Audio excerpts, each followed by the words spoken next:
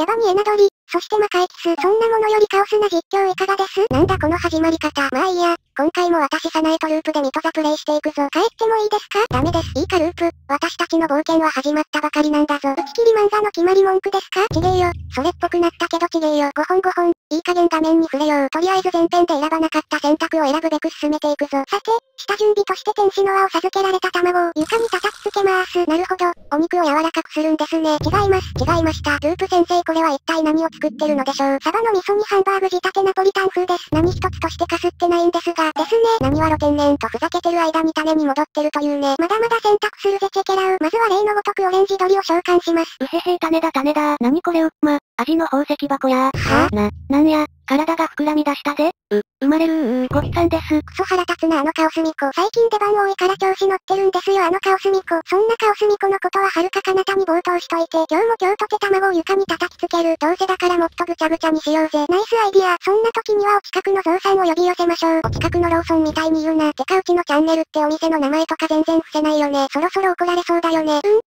近々コンクリ詰めにされて海に沈められると思います。怖すぎるんすけど、ご安心ください。どんなに怒ってる人でも植物をプレゼントすれば自然と笑みがこぼれるはずです。食虫植物でも、た、多分いけるはずです。危ない世界の人たちは好きになる植物。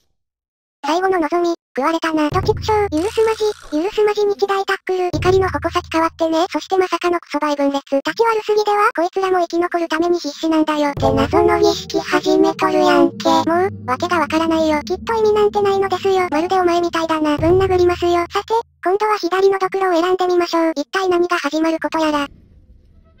へいへいへい、見てるか愚民どもこいつを見てくれこれは私の親父の遺骨だ。信じられねえと思うがこれを玄関先に置くだけで幸運の持ち主になれるって話よ。宗教の売り込みじゃねえか。ま、まあ演出を加味していいねにしときますか。おほほう、 thank you thank you、thank you very マッチョっつって。今すぐ叩き潰してやりてえわ。激しく同意です。一面最高。何が一面だみんな同じ顔じゃねえか。という怒りを込めて今度はブーイングしてやる。お主も悪よの大地の怒りを食らうがよい。そして全身で受け止め味わうのだ。あらやだ美味しそうなトマト。